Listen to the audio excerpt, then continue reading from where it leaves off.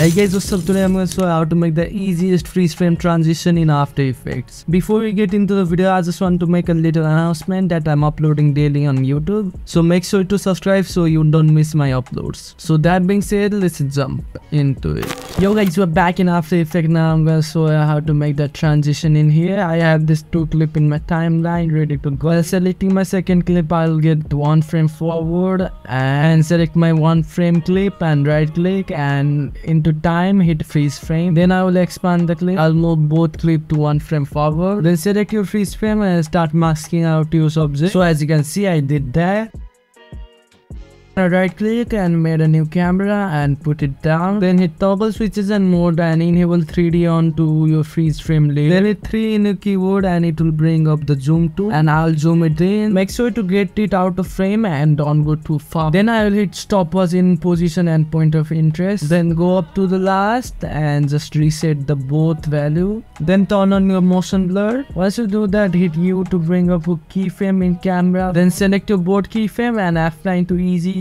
though then I will go into the graph of point of interest and make sure you are in speed graph and make this graph right here. And in also in position go up to your graph and make the same graph in here too. Then hit ctrl d to duplicate your freeze frame. Then select your bottom freeze frame and hit amp to bring up the masks and delete it. And when my animation almost done i will make a new keyframe and go a bit further and make a new keyframe again and go up to the last keyframe and make the value to zero. Then I am played with the duration of the keyframe. At the last you will have a transition like this.